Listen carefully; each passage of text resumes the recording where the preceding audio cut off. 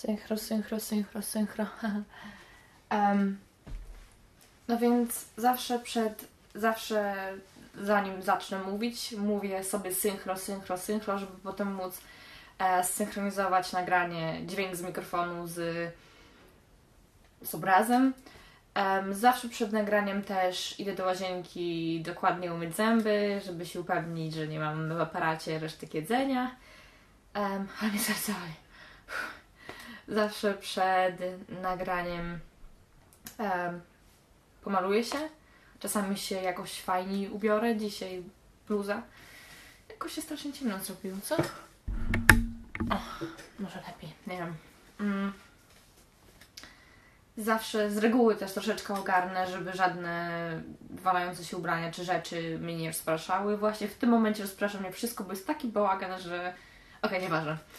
Um, dlaczego Wam to mówię? Mówię Wam to dlatego, że w tym momencie um, robię takie coś, co chyba w Ameryce nazywa się jakimś tagiem, w którym chodzi o to, że przez 10 minut siedzisz i mówisz bez żadnych cięć i tego typu rzeczy, które youtuberzy robią na co dzień. Um, wszystko zaczęło się od jakiejś modelki, która miała problemy, z, dostała jakiegoś kryzysu związanego z, social media, w którym głównie chodziło o to, że nazwała social media ogólnie bardzo sztuczną rzeczą, w której każdy próbuje zaprezentować się z najlepszej strony, nie mówi um, nic jak to tak naprawdę wygląda, pozowała na jakichś zdjęciach i potem zmieniła e, podpisy tych zdjęć na prawdziwe, typu, że jakoś pozuje dziwnie i mówi e, tak, tutaj się seksownie wyginam do zdjęcia, bo żeby jakieś ciuchy lepiej na mnie wyglądały, okej, okay, gadam bez, ale chodzi o to, żeby w tym filmie gadać przez 10 minut bez żadnych cięć i być prawdziwym. Um, ale dyszę. Nie wiem czemu. um, kurde, znowu ciemno. Ah, głupie. Zawsze, kiedy nagrywam, zmienia się słońce. Czemu? Czemu? Przez cały dzień było idealnie się światło nie zmieniało w ogóle, tylko zaczynam nagrywać, zaczyna się zmieniać słońce. A, okej. Okay.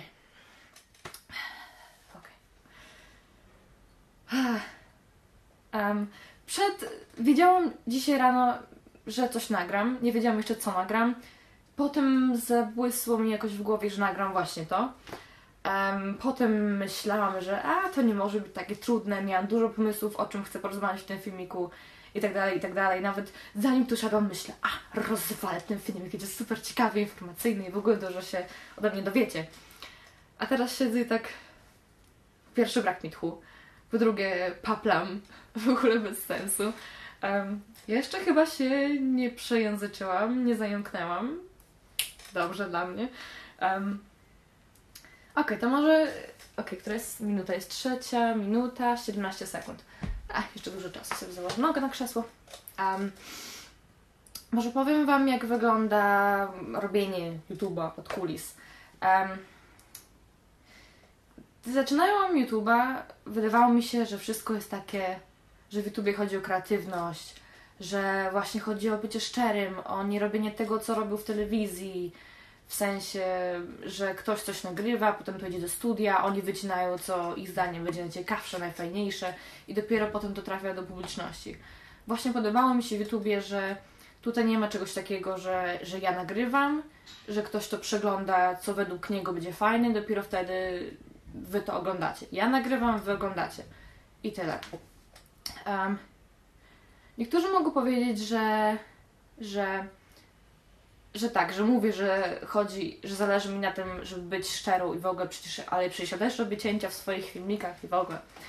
Tak, robię cięcia, ale z takiego powodu, że, że ja jestem świadoma, że YouTube to jest rozrywka filmy dokumentalne, nie wiem, filmy, na które ciągali nas zawsze do liceum, e, te wszystkie o wojnie, o śmierci, o Katyniach, pamiętam, to też była rozrywka, więc nie wiem, czy potrafię to dokładnie powiedzieć. To, że ja robię cięcia w swoich filmikach, w którym wycinam 20 sekund, w których siedzę gapiąc się ścianę, w ścianę i nie wiedząc co mówić, to nie znaczy, że jestem mniej realistyczna.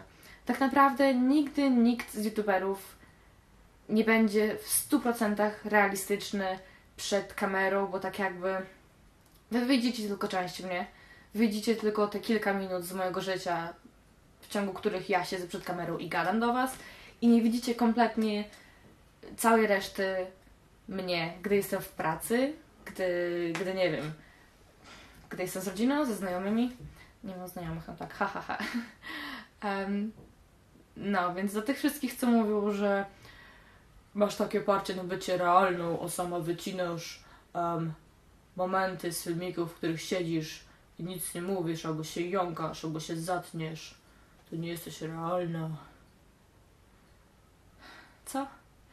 Muszę wam powiedzieć, że, że ja mam taki detektor, że czasami jak włączę jakiś filmik i gdy widzę, że ktoś od razu mnie widzi z takim cześć kochani, dzisiaj naprawdę coś fajnego się dowiecie i w ogóle będzie super filmik, dawajcie lajki, subskrybujcie w ogóle to od razu taki, taka niechęć mi się automatyczna włącza i myślę, kurwa, co za gówno.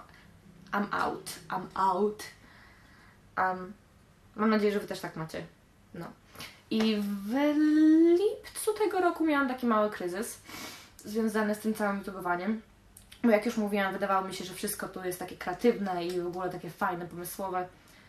I nagle w lipcu, jak przyjechałam do Polski i byłam na kilku eventach YouTube'owych, na jednym, gdy zaczęłam tak bardziej się w to wdrażać, gdy moja taka, nie wiem, popularność zaczęła wzrastać, subskrypcje zaczęły po prostu o tak rosnąć, nie wiem skąd w ogóle. Tak jakby doszło w końcu do mnie to, sorry, jakie to jest sztuczne. Byłam na pewnym, byłam w pewnym miejscu związanym z YouTube'em i po tym wszystkim, jak wróciłam do domu, dostałam strasznej depresji. Ktoś przyszedł, uwaga, sekundę.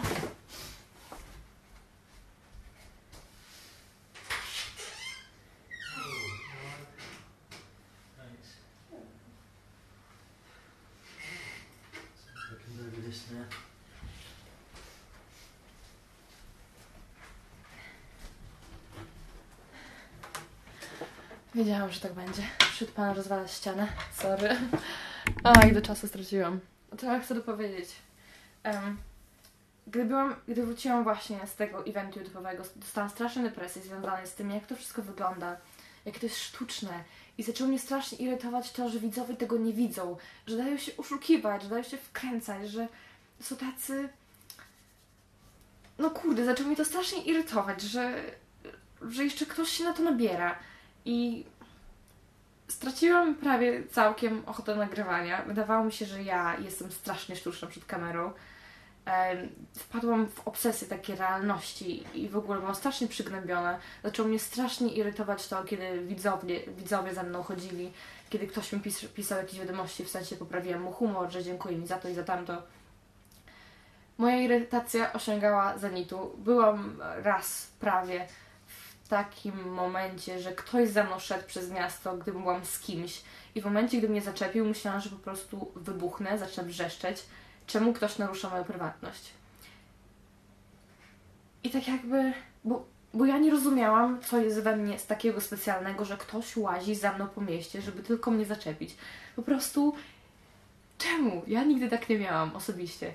I jak teraz myślę, wiem, co było powodem mojej irytacji i tak teraz mam do tego taki troszeczkę dystans, to z drugiej strony nadal uważam, że jeżeli ja jestem z kimś, to nie powinno się tak jakby zakłócać mojej prywatności.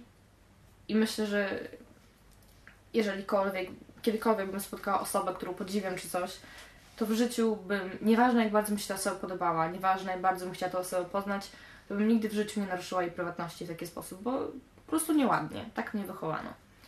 I, i no, kurde, już 9 minut, ja pierniczę. Ale myślę, że ten filmik będzie dłuższy. Sorry, jestem chora.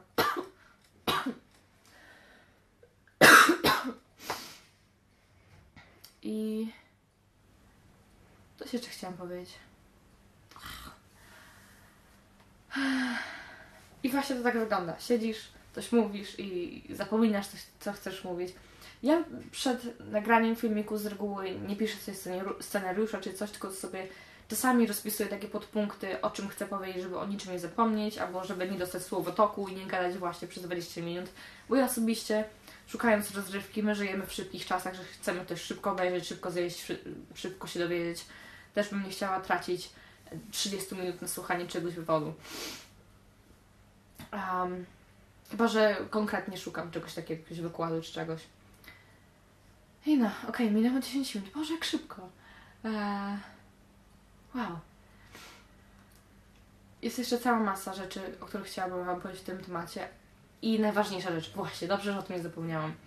Em, ostatnio, gdy zaczęłam pracować i jeszcze troszeczkę przed tym, em, zauważyłam, że social media źle na mnie wpływają. Źle wpływa na mnie czytanie komentarzy pod czyimiś, czyimiś filmikami, komentarzy pod wiadomościami.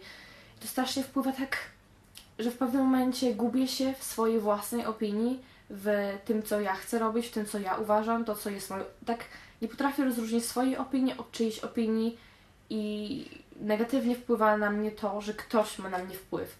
Nawet nie mówię o negatywnych komentarzach, nawet pozytywne komentarze źle zaczęły na mnie wpływać, bo tak jakby uzależniam siebie od tego, czy ktoś mi powie, czy jestem fajna, czy czy, czy, czy, czy, czy, czy, czy, czy, czy, czy że poprawiłam komuś humor i to nie jest dobre. I zauważyłam, że jak ograniczyłam to, czytanie, takie obsesyjne patrzenie, e, kto mi skomentował na Instagramie, e, takie, takie obsesy, obsesyjne sprawdzanie, czy ktoś mi napisał jakieś pytania, żeby mogła od razu odpowiedzieć, żeby, żeby no, żeby, no, nieważne. Um, takie obsesyjne sprawdzanie, gdy to zakończyłam, tak jakby stałam się strasznie spokojna. Nie mam żadnych problemów w ogóle ze sobą, nic. Mam czysty umysł, wiem co myślę, wiem co jest moją opinią, nie czuję, że ktoś na mnie wpływał, więc nie mam jakichś takich dziwnych rozterek. I to jest bardzo dobre, więc myślę, że co chcę powiedzieć jest to, że trzeba przestać brać social media aparat automatycznie się wyłączył. Przysięgam, że nic Was nie minęło. Um, że trzeba spróbować brać social media mniej na poważnie, mniej traktować to jako coś tak naprawdę istotnego i zacząć więcej żyć tak jakby w teraźniejszości, nie monitorem laptopa, nie aparatem, kamerą, nie smartfonem, tylko teraźniejszością. Dziwne słowo. Um, no, mniej przyjmowania się tym, ile ma się lajków, komentarzy, subskrypcji, wyświetleń i tego typu rzeczy, rzeczy. Mniej myślenia o tym, jak się wrzuca zdjęcie, um, czy się komuś spodoba, czy nie. Cześć, kotku. Um, I no, trzeba tak jakby się troszeczkę zrelaksować i wziąć od tego troszeczkę dystansu. Wiem, że to wszystko jest internetowe, skomputeryzowane i w ogóle, ale trzeba to ograniczyć, bo to naprawdę źle wpływa na ludzi. Jeżeli mówicie, że na Was to nie wpływa, to po prostu nie zdajecie sobie z tego sprawy. Ok, to jest gapa. Um, ciemno się strasznie zrobiło. Ok, skończę paplać, bo paplam już 13,5 minuty. Um, mam nadzieję, że filmik Wam się spodobał, że jest to coś innego. Nie będę nikogo tagować. Po prostu zachęcam wszystkich do zrobienia tego typu filmiku. Myślę, że to jest fajne, myślę, że to jest ciekawe. Fajnie zobaczyć kogoś takiego, kogoś tak bez cięć i bez... O, o Boże, jak ja kocham koty. Pięknie pachną, psy śmierdzą. Okej. Okay. I to wszystko. Dziękuję za oglądanie i... pa. Okej, okay, koniec.